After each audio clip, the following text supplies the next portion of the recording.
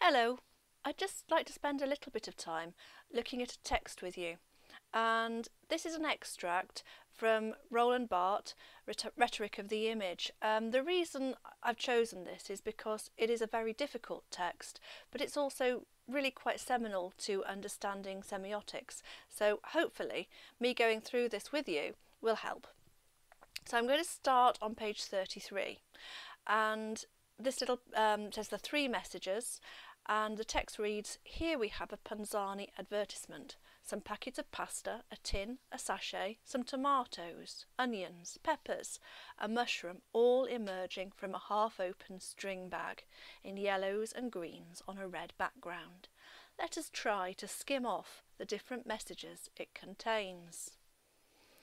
We'll stop for a second there because straight away it's obvious that Barthes describes a particular advertisement. And so the first thing I do at this point is go and find an actual copy of the advertisement itself. And a quick Google search shows me this. In fact this is the very extract here. So first of all I've looked for this and I can see the image Barthes describes and this is going to help me understand how he unpicks it. I'm going to continue to read now. The image immediately yields a first message whose substance is linguistic its supports the caption, which is marginal, and the labels, these being inserted into the natural disposition of the scene, en abîme. The code from which this message has been taken is none other than that of the French language. The only knowledge required to decipher it is a knowledge of writing and of French. Well, if like me, your knowledge of French is really limited, you'll want to know what certain things say here. So again, I'll open up a new tab and I'm going to do a Google search. There we go. So this is the phrase I don't understand and I'm going to choose which source I look at. Wikipedia isn't always that um, reliable. I'm certainly not going to look at fun trivia because that doesn't sound as if it's going to help me and pick a serious text. But I've got um, Merriam-Webster, which is a dictionary name that I recognise here. And although the first sort of bit of the definition isn't very useful, the other two are containment of an entity within another identical entity or an image of an image. So I've kind of unpicked what that might mean. I can go back to my um, extract and think, yes, I understand how the labels could be interpreted as this. I'm going to carry on reading now. So in fact, the message itself can be further broken down. The linguistic message is therefore twofold, at least in this particular image, denotational and connotational. Since, however, we have here only a single typical sign, namely that of articulated written language, it will be counted as one message. So pausing there, lots of very unfamiliar vocabulary and in fact we will be discovering what these particular words mean in class but if I was reading this before class, I would probably want to look them up in the same way that I've looked at that sort of um, language from a different um, culture. So I'm going to go here. I did actually do a Google search earlier. Um, see if I can find it for you. Semiotic signified. So I want to know what signified means. And I found a page from Daniel Chandler who was actually on the key reading list, and signified, signified, oh, the signified, the concept something represents. So, although we will be covering this, you've also got some useful extra knowledge, and I would be doing that with all of these ideas, denotational and connotational. Don't be afraid to look up what you don't understand. I'm going to carry on to read now. So putting outside the linguistic message, we are left with a pure image, even if the labels are part of it anecdotally. This image straight away provides a series of discontinuous signs. First, the order is unimportant, as these signs are not linear, the idea that what we have in the scene represented is a return from the market. A signified, which in itself implies two euphoric values, that of the freshness of the products, and that of the essentially domestic preparation for which they are destined.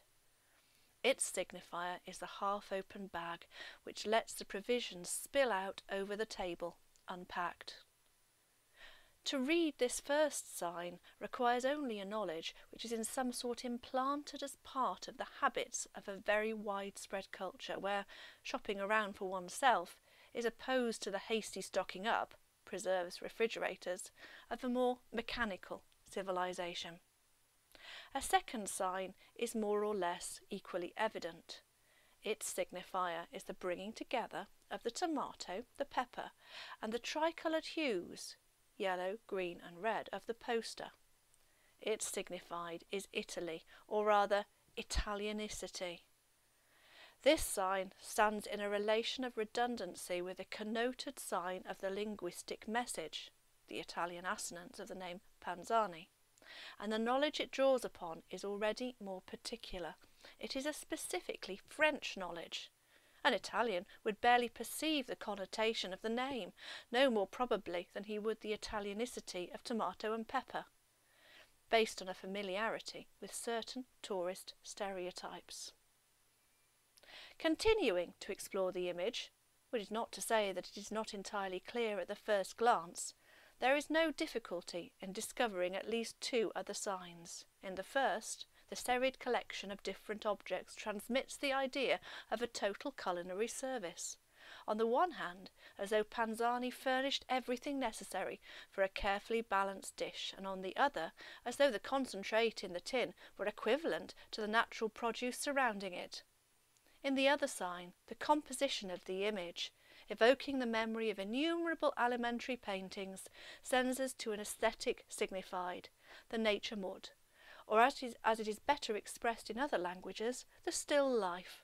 The knowledge on which this sign depends is heavily cultural. And that's a huge paragraph and it's packed, packed full of so much information. So don't panic there. I mean, if you didn't get everything at once.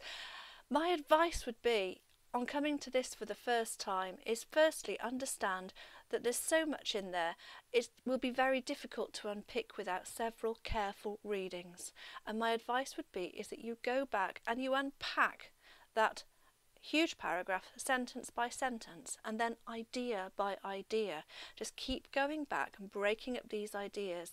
They do follow logically from one another so if you start, you start with this idea of the image as a series of discontinuous signs. And then you go to this idea of Italianicity. And then you continue to explore the image as a serried collection of different objects.